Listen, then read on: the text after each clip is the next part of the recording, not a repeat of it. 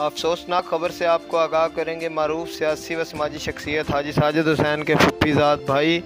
मोहम्मद मोहसिन लतीफ़ गुजशत रोज़ दुबई में इंतकाल कर गए।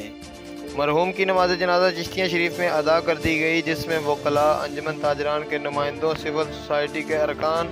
प्रेस क्लब के मेम्बरान समेत चौधरी अब्दुल लतीफ़ के अज़ीज़, अकारब और दोस्त अहबाब समेत सैकड़ों अफराद ने शिरकत